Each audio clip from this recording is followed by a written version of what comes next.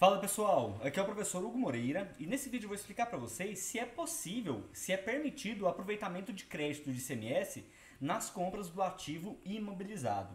Mas antes eu peço para que vocês se inscrevam no meu canal e se esse vídeo for útil para você, eu peço que contribua com qualquer valor para o Pix que está aí na tela, pois vai me ajudar muito a fazer mais vídeos como esse.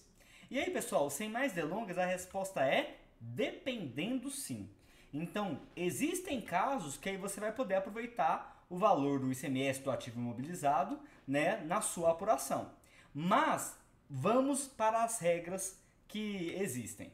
Então, uma empresa pode aproveitar o valor do ICMS do seu ativo imobilizado apenas quando os bens que compõem esse ativo imobilizado estejam diretamente relacionados ao seu processo de produção ou comercialização, ou até mesmo as prestações de serviço tributadas pelo ICMS. E aqui eu vou dar alguns exemplos para vocês. Imaginem só que a sua empresa comprou uma máquina e essa máquina vai ser utilizada no processo produtivo. Então, já que ela faz parte do processo produtivo, o valor do ICMS poderá ser utilizado, aproveitado. Agora suponhamos que você comprou uma geladeira lá para a cozinha da sua empresa.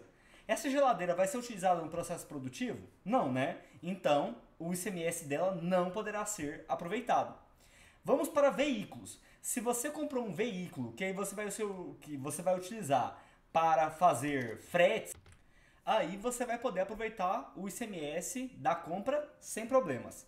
Agora, se a empresa comprou um veículo para que seu sócio ele ande nesse veículo, aí isso não está relacionado ao processo produtivo, então não poderá ser aproveitado.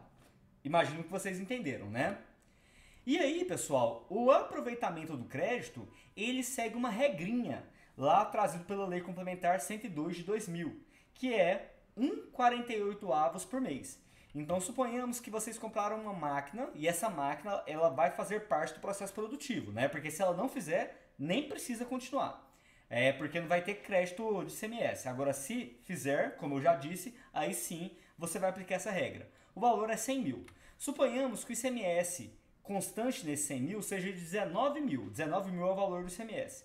Então, 19 mil dividido por 48 é 395,83.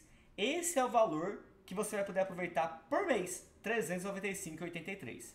Pessoal, se gostaram desse vídeo, eu peço para que se tornem membros por apenas R$ 4,99. E assim vocês vão ter acesso a vídeos e cursos exclusivos, como de cálculos e legislação trabalhista, planejamento tributário e social e diversos outros. Um grande abraço e até a próxima!